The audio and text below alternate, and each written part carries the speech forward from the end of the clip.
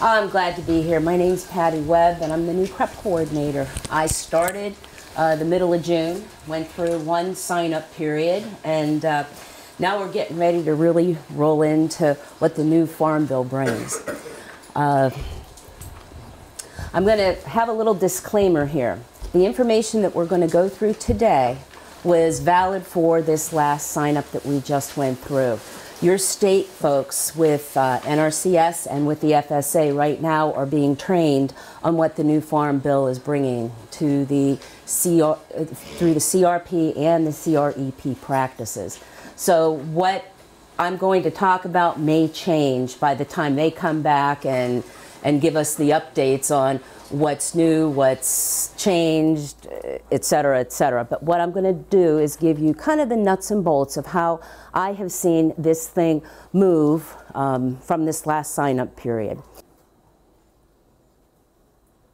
So as an overview of the CREP program, Delaware's implemented the Conservation Reserve, Reserve Enhancement Program to, and the goal of it is to enroll up to 10,000 acres in agriculture land in Kent, New Castle, and Sussex counties.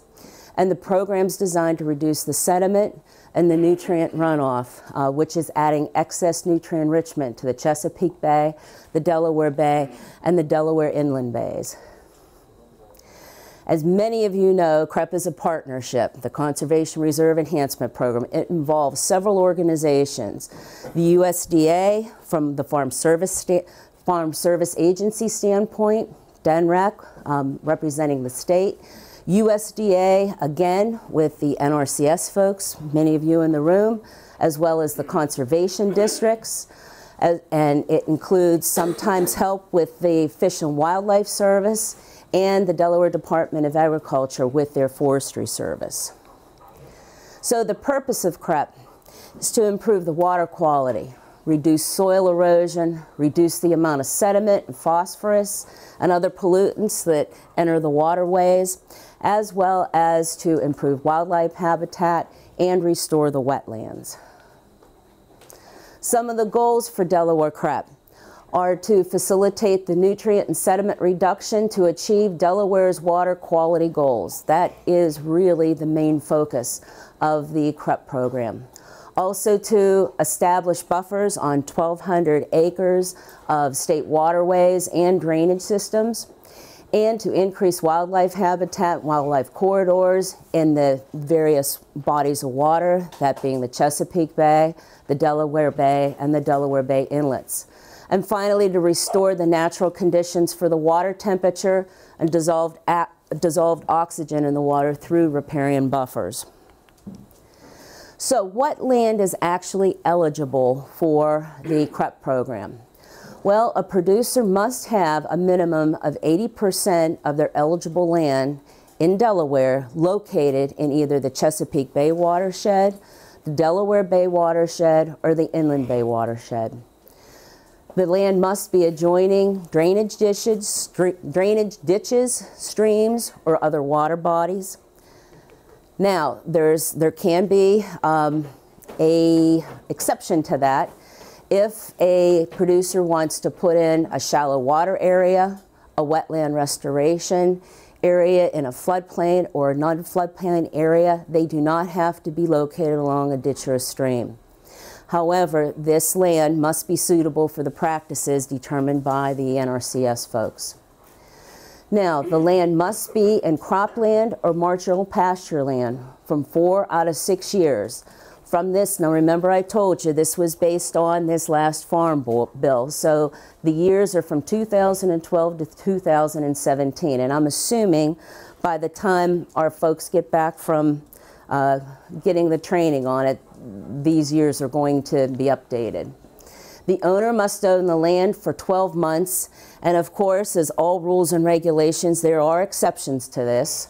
Uh, don't need to go through all of them, but just know that if you find a, a really great area and the owner hasn't been there for 12 months, let's check it out because they may fall under one of the exceptions. Also, land that is in marginal pas pasture land is suitable for CREP However, it needs to go into a riparian buffer. Now, in the CREP uh, in the CREP practices, there are certain practices that are eligible uh, and are considered to be CREP. They are the hardwood tree planting, permanent wildlife habitat, shallow water area for wildlife, filter strips, riparian buffer, wetland restoration, and wetland restoration in a non-flood non floodplain. If there are any other CRP practices that they want to do, they are not classified as a CREP practice in Delaware. Other states may have other practices, but for us, this is what we're working with right now. I just have a series of pictures here now coming up showing you some of the practices and some of the specifics that uh, the producer had to meet um, for this last sign-up period. In order to be in a CP3A, there needed to be a minimum of a 35 foot width. The cover needed to be the length of one side of a ditch, stream, or water. The tree species needed to meet certain specifications determined by NRCS. And if the producer wanted to put softwoods in, particularly pine, they were not allowed to exceed 20% of the trees that were planted. It's just picture of some of the planting that's going on. Then the filter strip. The minimum average width of a filter strip was 24 to 120 feet. It needed to be the length of a water protected on that track that is being enrolled into CREP. In this picture here, it's showing the practice on either side of the stream. It doesn't, for the CREP practice, it needs to be the length of the actual stream on one side. The total acreage cannot exceed 25% of the cropland in the field, and the species that are planted in this filter strip must meet certain specifications. For the riparian forest buffer, the minimum width here had to be 35 feet. This is the riparian buffer. Again, it needed to cover the entire length of the waterway maximum average width of 180 feet. This is a picture of uh, two practices put together, which is allowed to happen on a tract of land that a producer owns. This is an example of uh, back behind here where you can't see, there's a stream. This is the riparian buffer, and this is an example of a filter strip. shallow water area, which is a CP9. The total acres enrolled in CREP and CRP together in a sign-up cannot exceed 20 acres on a tract of land.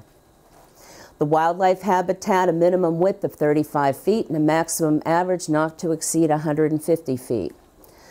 And again, this one, entire length of the eligible ditch stream or water needed to be protected.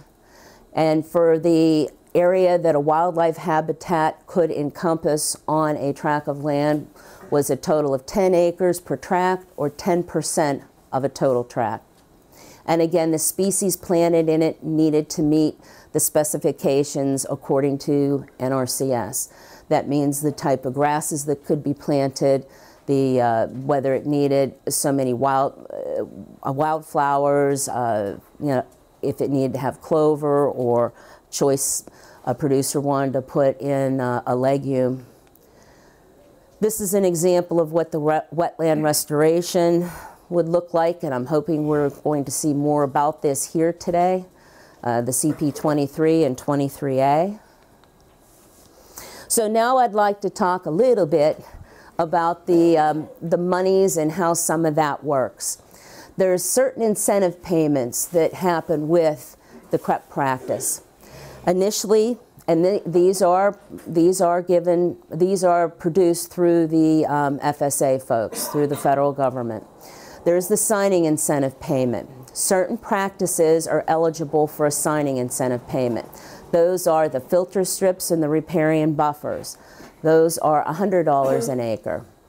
For a wetland restoration uh, or wetland restoration non-floodplain, that is $150 an acre. There's also a practice incentive payment.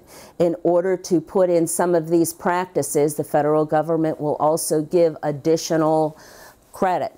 40% of the eligible cost to install the practice, and that would be of these practices listed here. And finally, the Chesapeake Bay incentive payment. In order to receive a one-time payment, the producer needed to be enrolled or re-enrolled in the CREP practice, and the CREP practice had to be the riparian buffer, all right? And it also had to be within the Chesapeake Bay watershed or within one of the Chesapeake Bay hydrological unit codes. Also, from a federal side, there's the annual rental payment. Now that annual rental payment is based on three predominant soils that are in that practice, or in that, uh, I'm sorry, the, uh, the tract of land that's enrolled. Or if it's marginal pasture land, that's based on the posted marginal pasture rate for the county. Then there's an incentive rate that is, then the incentive rate is also based on the practice and the county. Along with that, the federal government will come in and provide a cost share payment equal to 50% of the eligible reimbursement cost to install the practice. There's also a state incentive payment. And the state, along with the federal payment. Now, with the state, there's a one-time um, payment. It's made within the first year of the contract. The incentive payment's based on the practice in the county and the state will come in and help with the cost share equal to 37.5% of the eligible reimbursable cost to install the practice. So again, this is a chart. If we're looking at it, it depends on what county the practice is in, what the practice is, based on what will be paid by the federal government up to this amount, the state up to this amount, and then this gives you the total that the producer would be eligible for. That's how it was calculated for this past sign-up period. So the planning sequence that we were looking at um, for this past sign-up, since I was new coming into the, uh, the CREP role, uh, if a producer was interested in putting one of these practices on their property, they'd sign up at the local farm service agency. Then FSA would determine the cropland and the ownership eligibility. Then on NRCS predetermined the practices of that eligibility. Was it the right land? Was it the right soil types in the right area? Then myself, one of the planners will do a site visit. Then the landowners are contract, contacted by me and planners were, were with me or forester depending on what practice we were doing. And then a planting layout, planting specifications, operations, and maintenance, and mid-contract management uh, were developed. So the dog is having some fun in my bag.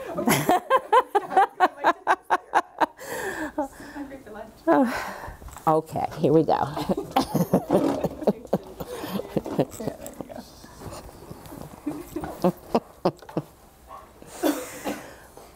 All right, then I would come through as the CREP coordinator with the planner, review the planning information and any expenses that would be associated and the responsibility of the landowner with the landowner along with the mid-con, talk about the mid-contract management that needed to get done and any of the other agreements, we would make the call to the landowner.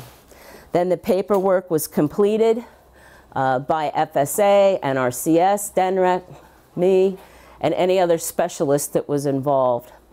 The contract was approved through FSA and then work could finally begin. So as you can see with that, there is multiple steps, multiple groups, and it all needs to be coordinated, and that's my position right now. Once the work began, the landowner needed to make sure that they signed up to be a vendor of the state of Delaware in order to receive the payment from the state. And then the landowner would receive the payments from the state in a lump sum and the federal uh, portion of it would come through the FSA annually for the life of the contract. Now the CREP contracts would be between 10 and 15 years. So with that, I'd like to say thank you, and I had Phil Miller, who's part of our group, help with the slides, and he did a great job, and more to come, and we'll keep improving this. You did not get a copy of this slide presentation right now, and if, it, if, if you'd want the information, we can email it to you. But remember, it's not the most current because this is going to be updated based on what's coming out of the new farm bill that was signed um, at the end of May. So are there any questions?